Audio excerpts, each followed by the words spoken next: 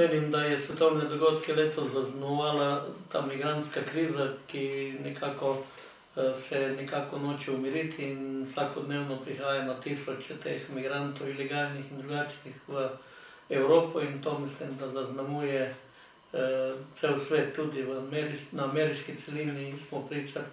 temu migracijskemu valu, tako da mislim, da je to pomembno zaznamovalo letošnje leto. Na državnem nivoju so bile to nedvomno državnozborske volitve, prav tako tudi na lokalnem nivoju lokalne volitve, na katerih so pač naši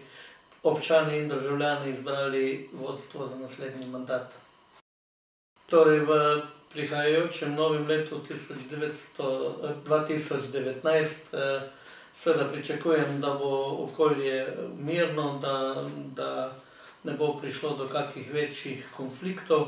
in pa seveda, da bi nam služilo vsem skupaj zdravje. Ja, zdaj, smo en investicijski ciklus zaključili, seveda pa imamo seveda pripravljene projekte za ureditev obrtne cone, se pravi komunalno opremo, potem nadaljevanje sanacije cestnega omrežja in pa seveda